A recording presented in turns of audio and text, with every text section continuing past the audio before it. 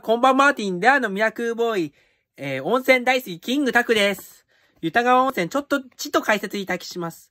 まあ、千年を超える歴史もあるんです。はい。まあ、白鷺の湯と呼ばれておりますね。はい。まあ、温泉いろいろあります。旅館が、はい。まあ、ユタ川温泉といえば、まあ、山形の名物、minden ナス、藤沢かぶ、だら茶豆、かっぽだけあの竹の、あのお酒ですね。はい。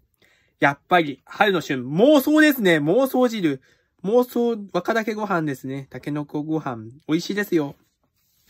豊川は確かに藤沢周平さんの、えー、城下町ですね。ゆかりの場所でございます。はい。